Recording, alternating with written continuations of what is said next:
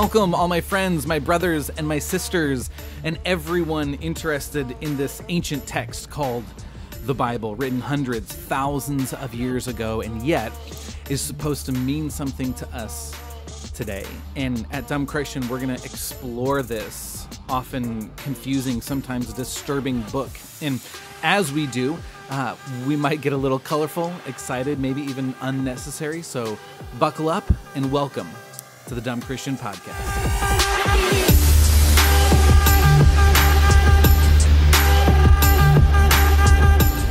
The Bible is not this uh, neatly wrapped package or a bottle of filtered water.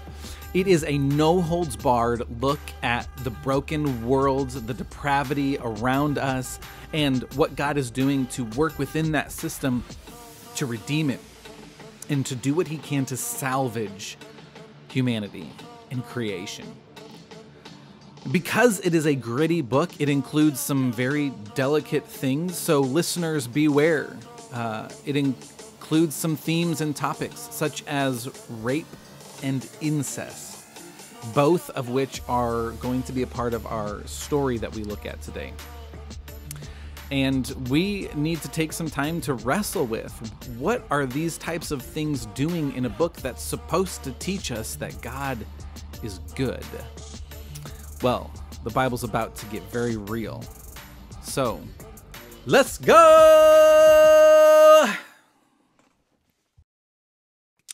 The stories that we're going to look at um, today are found in Genesis chapter 19. And I highly recommend go read Genesis chapter 19 on your own. Um, at Dumb Christian, we're just trying to look at it with modern language and sensibilities and trying to just unpack what's going on. But ultimately, God said what He said the way He wanted to say it, and He'll always say it better than I can say it. So I recommend giving that a read on your own. Genesis chapter 19. But before we can get into the stories that we're going to look at in Genesis 19, we really need to take some uh, a some uh, context. We need to look at some context. What's going on around the story? What's going on in the world? What's going on in the culture? What's going on in the lives of the people that we're looking at? And uh, really, I highly recommend this is the way we need to approach the Bible anytime we read it. Get context, what's going on. And there's an episode uh, in Dumb Christian called How to Hermeneutics. I highly recommend checking that out. That'll give you some groundwork. How do we approach reading the Bible? So let's back up a few chapters before we get into Genesis chapter 19 and take a look at the world in this time. The characters that we're going to be focusing on eventually are Lot and his two daughters. But before we get to him, we need to meet a very famous man in the Old Testament. Maybe you've heard about him Abraham. And Abraham and his family are living in the ancient land of Sumer. Sumer was the hotbed of society, it was the uh, cultural hub of the world at that day. This is where you come to uh, tr- make trades, sell your wares, and, and post your Instagram pictures. This is where you went to gain followers. And in Sumer, there was a city called Ur. Everyone say Ur. Good job. Well done. Nice. Ur was the epitome of what society could look like in that day, the highest level of civilization. And there was this saying that became very popular that maybe you've heard before, and it goes, There's nothing new under the sun in Ur, it was as good as it ever was, and it's as good as it ever would be. There's nothing greater than what Ur has accomplished in regards to uh, standard of living, jobs, society, culture. And it carried with it this idea that it doesn't matter what you do, all your the all you're ever going to do is reinvent the wheel no matter how hard you try to create something new. You're not going to create any new jobs. You're not going to create any new avenues of income. What your grandfather did what your father did is what you do what your kids will do and what their kids will do forever and ever and ever. This is life is cyclical. What goes around comes around and nothing new ever comes about. There's nothing new under the sun. So there's no reason to go exploring what the next town over has. There's no indeed for you to post your resume. There's no, the grass isn't greener on the other side. And so when you finally get to the other town, it's really just a worse version of Ur. Now, Ur was a very eclectic uh, collection of people groups and ethnicities. It was economically diverse, but it was also very religiously diverse. And with this religious diversity came innumerable pagans. And these pagan religions brought with them pagan religion, religious worship practices. It's, it includes, but is not limited to, uh, cult prostitution, child prostitution, human trafficking, child sacrifice, just to name a few. Now, there was a rule of the land, there was a, a king and a, a law, but morally speaking, it was the Wild West. Anything could go and anything did go. And this is the epitome, this is the highest level of culture in that day. And it is glorifying some really dark, perverted, twisted actions under the guise of religious worship.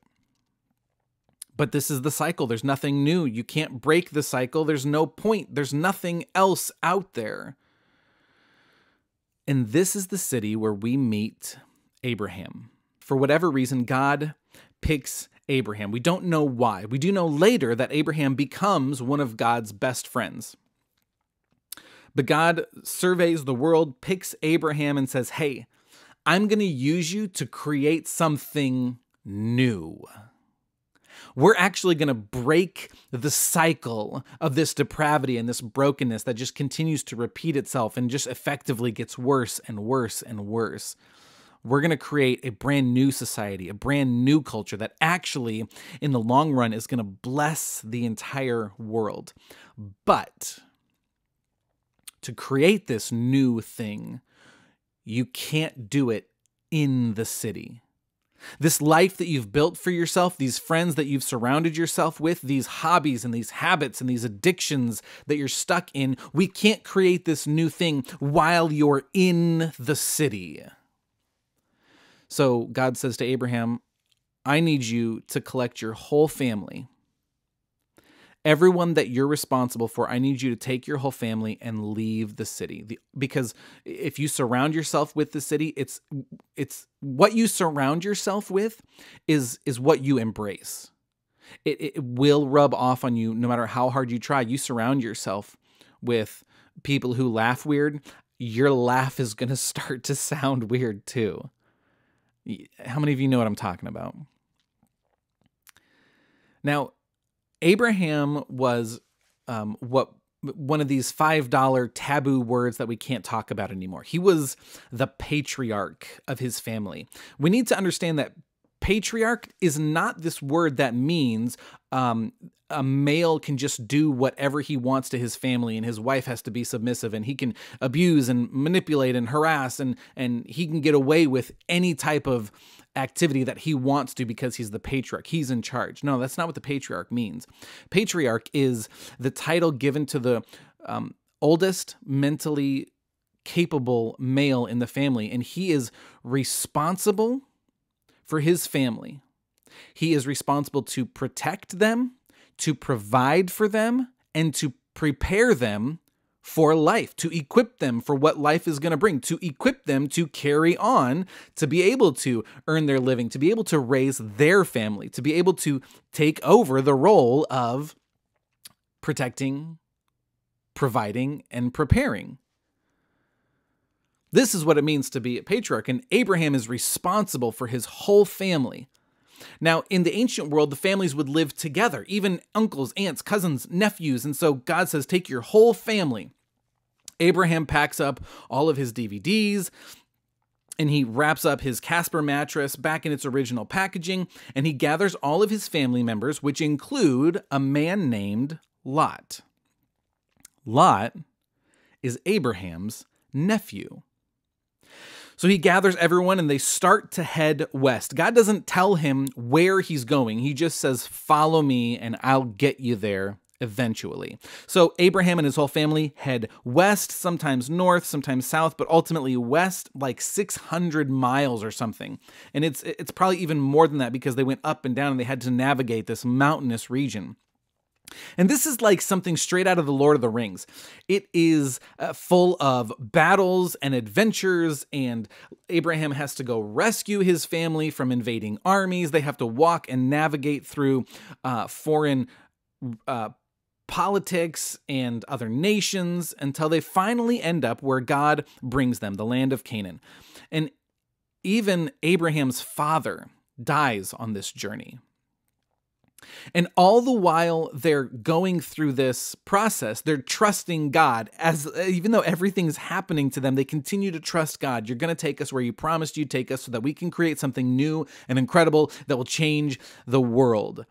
And because they continued to obey, regardless of everything else that's going on, God begins to bless them abundantly. He increases their livestock, their flocks, and their wealth and their possessions. And even as God blesses them, eh, this new tribe, this new Abraham clan, moves into the land of Canaan, and all these other tribes begin to take note who's the new neighbor? Here in the land of Canaan, Canaan is located in modern day Israel, and this is the location where God is going to establish a nation of people through whom he can bring about salvation and that redemption of humanity and, and all of creation. The Messiah, the chosen one. Jesus, by the way, spoiler alert, sorry.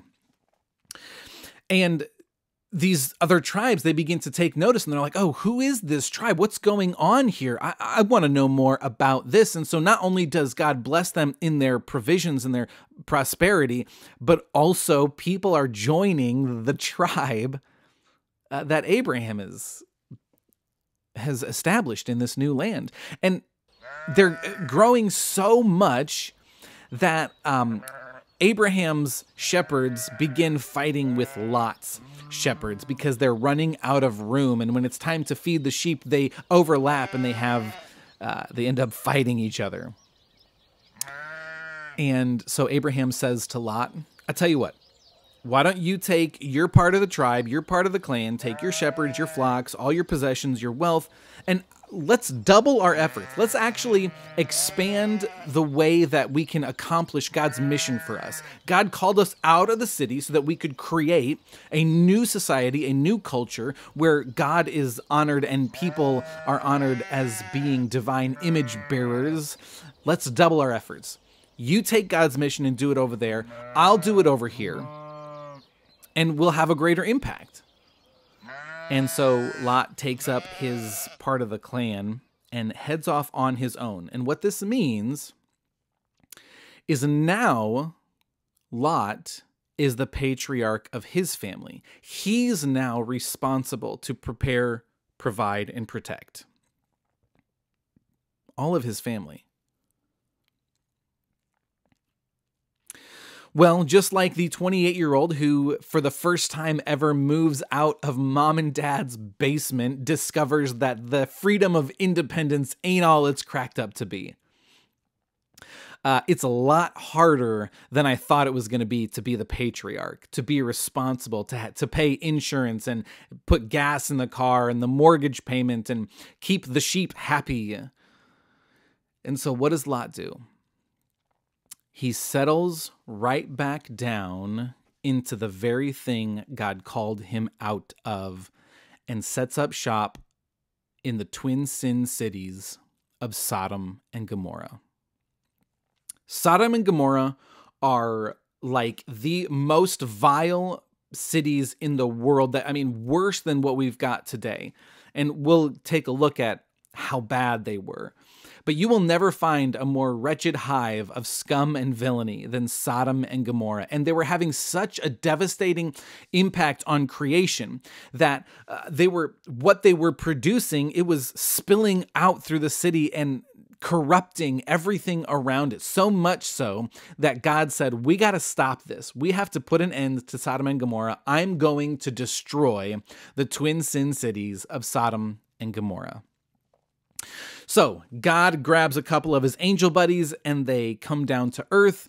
And as they're passing through the neighborhood on their way to Sodom and Gomorrah, God looks at his angel buddies and says, Hey, I think Abe lives around here. Let's stop by and see what he's up to.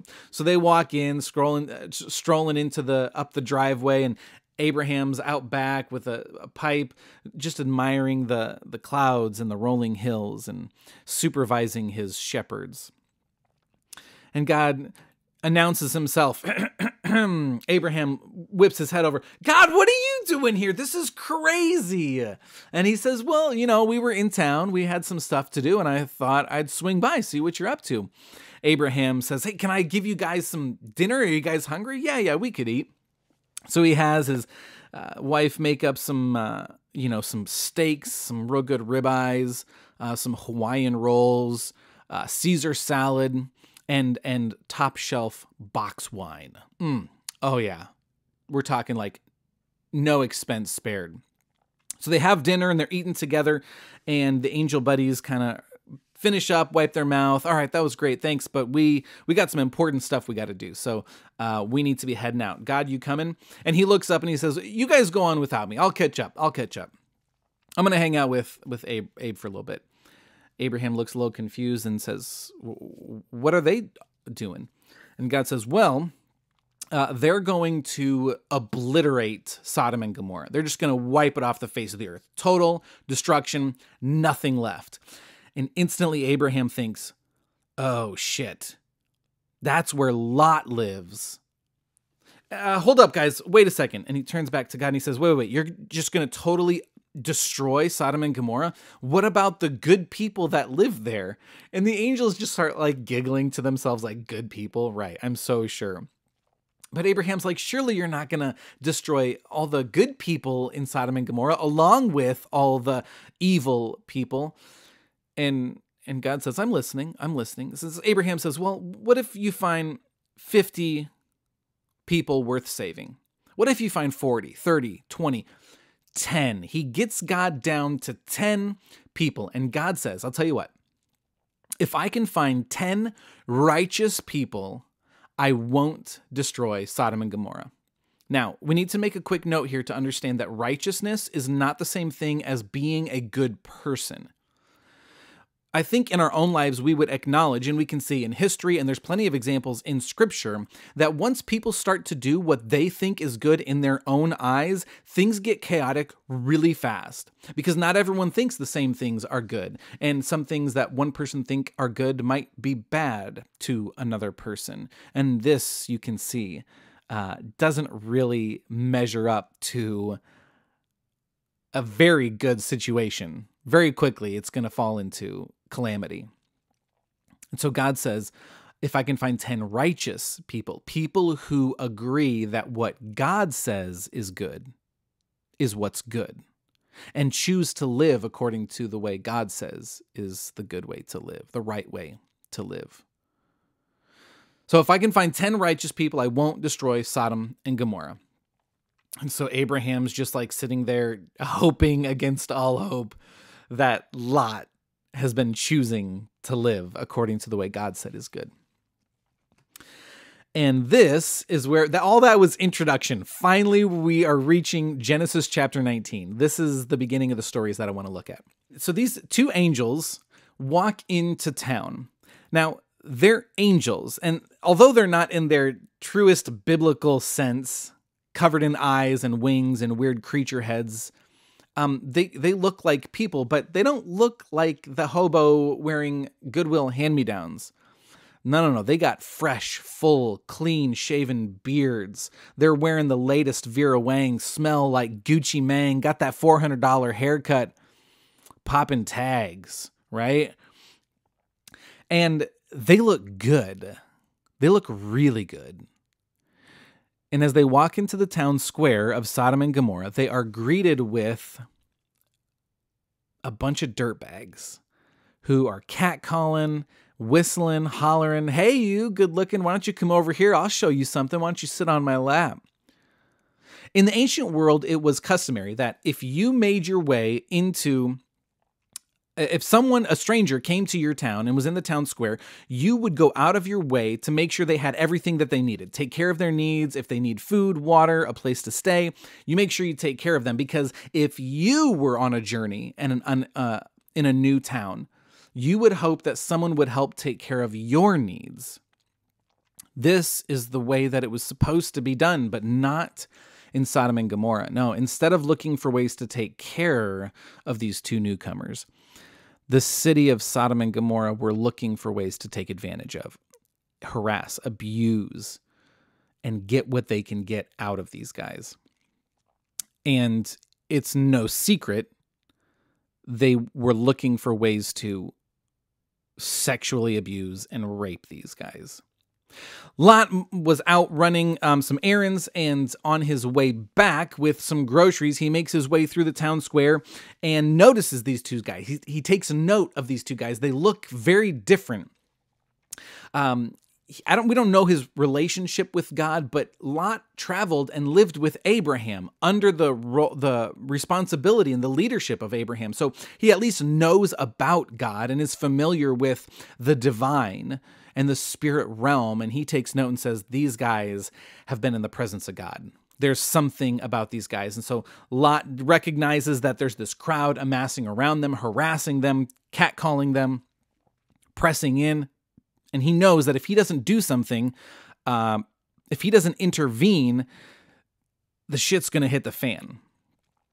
And so, uh, whatever Lot's thinking, I don't know if he's thinking he needs to save these angels from the town that he knows what they'll do to them, or he's thinking, I need to try and save the town from being destroyed by these two angels. Whatever it is, Lot thinks, I need to intervene. And so he steps in and says, Guys, come over here. Uh, I'll, I'll take care of you, and we can get away from this crowd that's amassing. Come and stay at my house. I'll take care of you.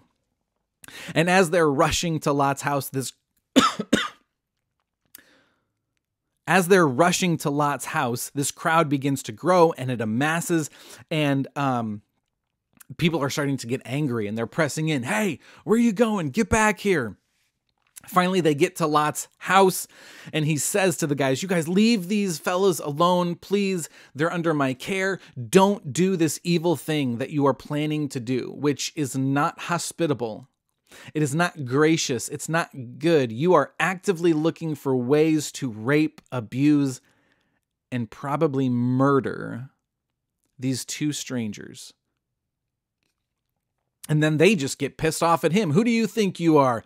Coming to live here, and now you're trying to be our judge and tell us what to be like. We're going to deal worsely with you than we would have with those guys. And he freaks out. Lot is in a really bad position. Have you have you ever found yourself in a situation where you have no good options? Like every choice available to you is bad. And no matter what you choose, no matter what action you take, um, you've just dug your own grave. This is the situation Lot finds himself in. He knows he needs to intervene. There's something he needs to do. He needs to stand up. He can't just go with the crowd, but he doesn't know what else to do.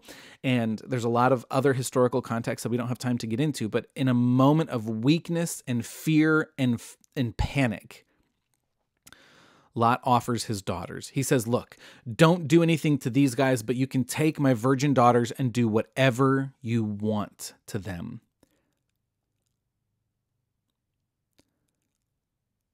This was a last panic freak out response. This was not one of the first options that he would go to. He doesn't know what else to do. He has no good options. And he knows that this crowd will rape abuse, and probably kill his daughters. But what else can he do? He doesn't have any good options. I'm not justifying it. I'm not saying it's good. Scripture doesn't eh, tell us that it's good. Scripture just takes a cold, hard look at this is the reality of the situation that they found themselves in. And it's not good. Luckily, the angels don't let that happen. They grab Lot, they bring him in, and they strike the perverts with blindness. So they're just groping and molesting each other now, trying to find Lot and his daughters and these angels. They're inside once they have a moment to catch their breath, collect themselves. The angels say, Okay, we are here because of that. We're here to wipe that out. We're going to destroy Sodom and Gomorrah. We are going to obliterate it. You need to get out of Dodge now. But I can't. I have a family here. We have a life. We have a business. I even have brothers, uh, sons-in-law that who, who are betrothed to marry my daughters. We can't just pack up and leave. Angels say, "No, no, no. You don't understand. We're doing this now. You get out now, or you don't get out at all." So a uh, Lot runs downtown to the factory where his sons-in-law work. And he's, the sky is falling, the end is near, we have to leave now. And his sons just look at each other, their co-workers. Sorry, my dad's a little a few fries short of a happy meal. Just ignore him and, and they turn back to the assembly line and go back to work. Lot realizes that this is a losing battle, so he heads back to his house to get his uh, china packed and his suitcases full. And the angels say, No, you have to leave now. And they're humming and hawing, and he's kicking, and he's not he's kicking stones and he's not doing what he's supposed to be doing. So finally, the angels grab him, his two daughters, and his wife, take them to the edge of the city, and say, Go now. And they start to flee. And it's like something straight out of San Andreas, where the road is collapsing right behind the car as it just barely escapes town, and there's explosions. And there's fire and stones falling from the sky in Australia. It's like WTF, mate. And it's so chaotic. There's people dying in the streets, screaming and they flee for their lives. In the chaos, Lot's wife dies. As they were running towards safety, as they were running towards God's provision of salvation and, and saving them from the destruction happening to the city, Lot's wife remembers what she's leaving behind. All of her friends. The cafe on the corner that she would have coffee with her girlfriends every Thursday. The bridge club. Everything that she had built for herself, all the aspects of life that she loved. And she was leaving those things behind. So she looks back at the city. She looked back. Instead of looking forward to the good gift that was granted to her to escape the destruction of the city, she longs for and looks back at the city. In this moment, Genesis 19 tells us that she was turned into a pillar of salt. A pillar is can be maybe it's like a monument, like a statue used to remind those that look at it about something significant a historical event, an experience that they had had. And it says she turned into a pillar of salt, a monument of salt, a reminder made out of salt. In the ancient world, salt was primarily used, yes, for flavor, but even more so for preservation meat would go bad quickly because they didn't have refrigeration, but you could put salt on meat and it would preserve the meat and it would last a lot longer. It wouldn't rot, it wouldn't go corrupt. It would preserve the meat. So this monument was made out of salt to not just remind them of the destruction of the city, but to remind all the onlookers that God preserves and saves. And his salvation doesn't happen in the brokenness. It happens, that's where he met the family, right? He met them in the city, in the depravity, in the brokenness. That's where he met them and then drew them out. And this pillar of salt, this monument of preservation, is a reminder that God meets us in the city but his salvation removes us from it. And if we long for and look back at the city, we're going to miss the way he's trying to work his goodness in our lives.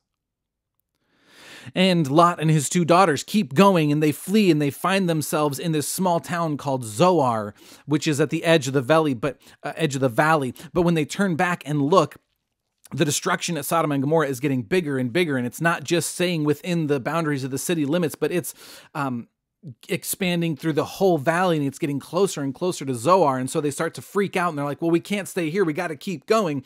So they press onward and inward until they find themselves in the mountains.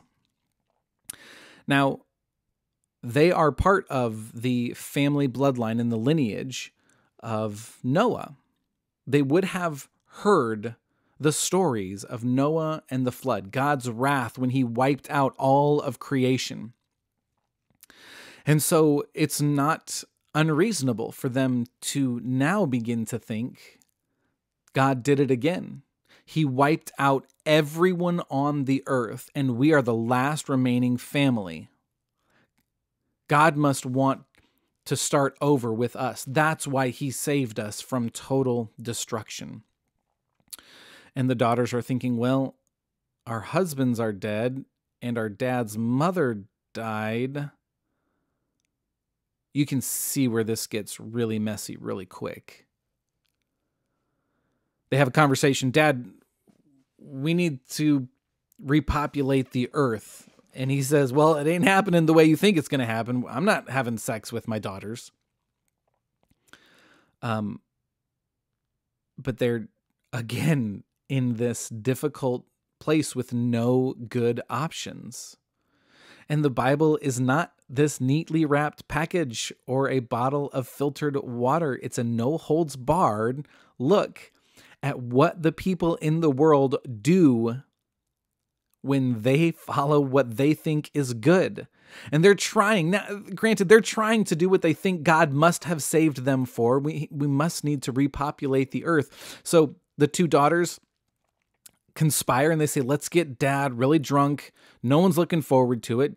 It's not what God asked them to do. It's not what God wants them to do, but they're just doing what they think is best. They get dad totally wasted. And the first night, the oldest daughter goes in. He is so drunk, he has no idea what's going on. She has sex with her dad and she gets pregnant. The next night, they do it again, get dad totally blasted. The youngest daughter goes in, has sex with dad, gets pregnant. And I can't imagine what their reaction was the first time they actually just met other people and realized, oh, we aren't the last human beings alive. You've got to be kidding me. Damn it. But this is the Bible. It's messy and it's unfiltered. And it's good for us to see that God meets us in the middle of the city, in the middle of the brokenness, even when we keep making just bad choices. And He's doing everything He can to bring us out of that brokenness, out of that depravity, into something new and good and right. And sometimes we have to walk through those stories in the Bible that are uncomfortable, maybe even disturbing. But that's the Bible and I have been your host, the Dumb Christian. And remember that even if we're dumb, doesn't mean we're stupid. I love you guys. Next time.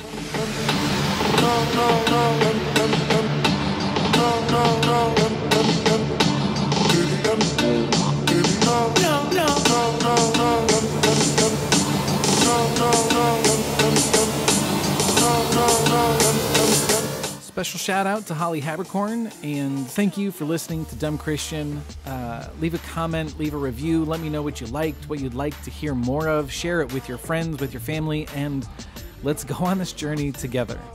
Catch you later. Love you guys.